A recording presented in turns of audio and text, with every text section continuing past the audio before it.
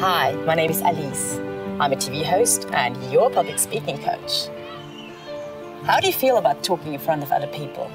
Do you enjoy it or would you rather avoid it? Do you tend to get nervous or even panic?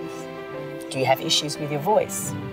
Do you wonder where to look, how to move, and what to do with those two hands? Or do you just need help structuring your perfect speech and delivering it in a natural and convincing tone? Whatever the public speaking skill is you want to improve, I can help you.